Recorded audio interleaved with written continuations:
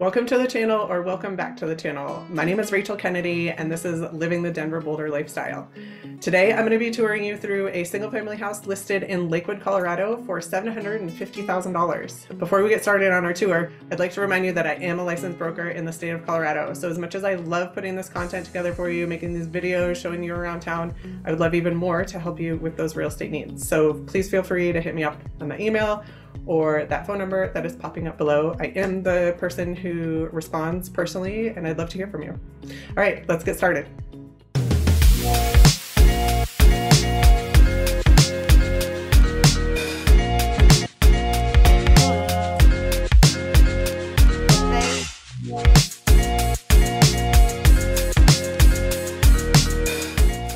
All right, so before I tour you through the single family house in Lakewood, Colorado, don't forget to hit that like and subscribe button that is popping up on your screen below. I put out videos every Thursday afternoon and I don't want you to miss them. So today we're going to be touring through a single family home in Lakewood, Colorado. This property is located at 8863 Warren Drive, Lakewood, Colorado. And it is a single family home listed for $750,000. It has 2285 square feet, so just about 2,300 square feet has four bedrooms, three baths, and is a complete remodel. So buyers moving into this property would not need to touch anything as it has already been completely renovated with brand new hardwood floors. They opened up the kitchen and made the kitchen, living, dining room an open concept, open to that sunken living room as well. So overall, they did a really, really great job with the remodel of the property. Home was built in 1968. It does have a new roof and then a little bit about market statistics.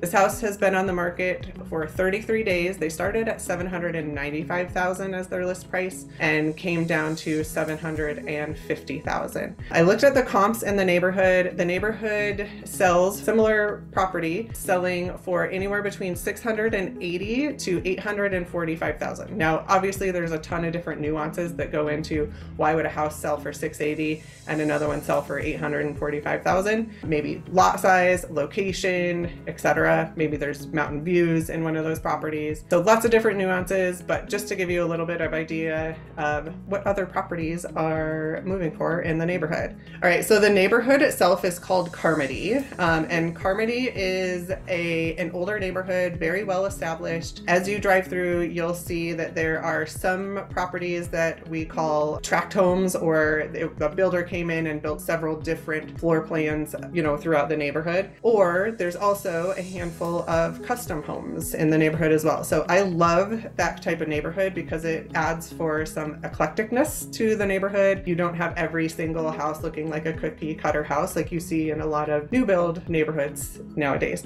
Some buyers love that. Some buyers love to drive down and see that every house is like very uniform, has the same tree in the same yard and the same colors, etc., etc. And some buyers just like to mix it up. So to each their own. I'm not saying that one is good and one is bad, but this neighborhood definitely has some eclecticness to it. The houses all look very, very different. The neighborhood, again, because it is a nice, well-established neighborhood built in the 60s and 70s, you're gonna get very big, mature trees, mature landscaping. There is a park right up the street. It's a three minute drive from the property called Kendrick Lake Park. The park has a lake, Kendrick Lake, and in that lake you can fish. They don't allow any paddle boards or, you know, personal flotation devices in the lake, so it is strictly for fishing. But there are beautiful walking trails, really nice grassy fields. There is a gazebo that you can rent if you want to host a family reunion, birthday party, picnic, etc. And then Carmody neighborhood is actually a 10 minute drive from Belmar Shopping Center. If you're not familiar with Belmar Shopping Center and all that comes along with living in Lakewood, check out my What It's Like to Live in Lakewood, Colorado 2023 video for a little bit more detail into Lakewood itself, pros, cons, location, all that kind of stuff.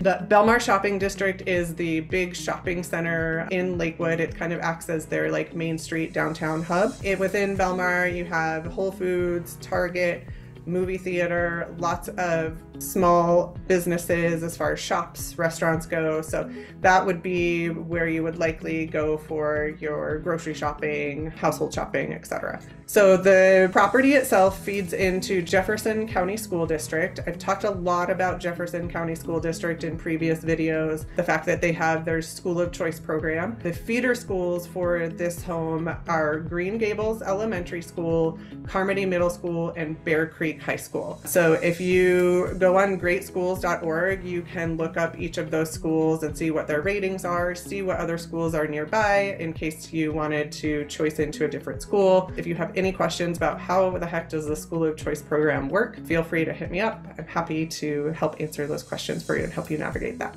Um, so without further ado, let's get started on that tour.